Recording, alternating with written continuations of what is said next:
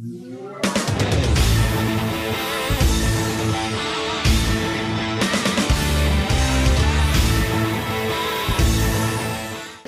bir maçtı kaptan değerlendirir misin? Lig öncesi iyi bir sınav oldu gerçekten hani son prova. E, rakibimiz de gayet ciddi bir rakip. Yeni çıkmalarına rağmen bayağı bir iyi transfer yapıp güçlü bir kadro kurmuşlar. E, son bir sınav oldu. İşte bu yaptığımız bazı hatalar var.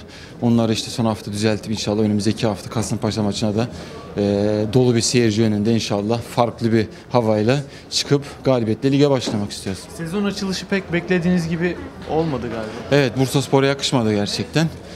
Bilmiyorum artık fiyat, e, bilet fiyatlarından mı veya başka nedenlerden dolayısı mı seyircilerimiz bir gün bizi yalnız bıraktı ama inşallah önümüzdeki hafta affettirirler ve stadı doldurur onlara güzel bir 3 puan armağan ederiz. Defansta hatalar biraz daha azaldı diyebilir miyiz kaptan? Ya daf- şimdi e, takım olarak e, sen takım olarak defans iyi yaptığımız zaman başarılı oluyoruz. Sırf defans sattığında başarılı olmakla yetmiyor. Çünkü e, takım olarak hem defans hem de ofans son geçen yılın ikinci yarısında yaptığımız gibi şekilde yaparsak o zaman takım o halde de başarılı olmuş oluyoruz.